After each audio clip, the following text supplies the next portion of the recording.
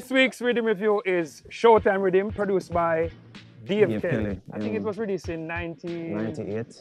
Oh, 98, 98? 98. Yeah, 98, 98, 97, 98, yeah. Yeah. And we can talk about some of the riddim them pan it, but it make it. Me can tell you. It's Ah, the the bo- yeah, it's the Bounty Killer. Yeah. Yeah, Eagle and the Ark was one of the songs that we you know you have to play. Have to play. Yeah.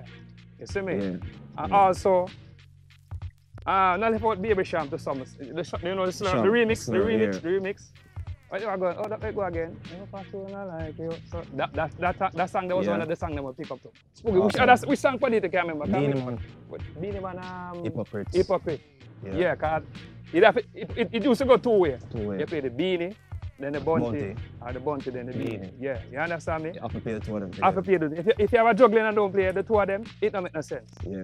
Also, pan riddim, who make you remember no pan riddim? Wayne Wonder. Wayne, ah, been searching at, yeah, Yeah. that was one of the Sing J song them pan it, but did I go and go.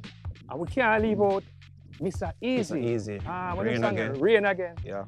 Yeah, Gunshot Rain again. Again. Yeah, that was one of the songs. Even Signature. Frisco Kid. Frisco Kid. Ah, Frisco Kid on song. the side. Yeah.